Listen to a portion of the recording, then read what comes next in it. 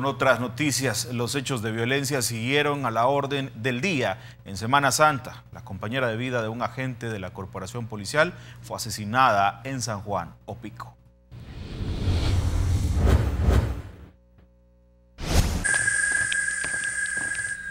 Sujetos vestidos de policía irrumpieron en una vivienda en el cantón El Castillo de San Juan Opico, La Libertad. Al ingresar, atacaron a balazos a una mujer identificada como Silvia Landaverde, de 38 años, esposa de un agente de la PNC. Ella supuestamente venía de bañarse de, los ríos, un lugar ahí, y de los sujetos, si me da palabra, le dispararon a la señora. La zona es asediada por estructuras de pandillas, las cuales, según las autoridades, estarían detrás del crimen.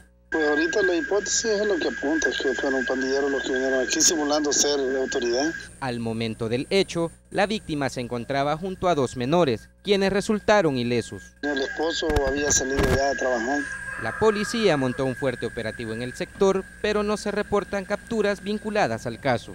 Para Teleprensa Canal 33, Francisco Ramos.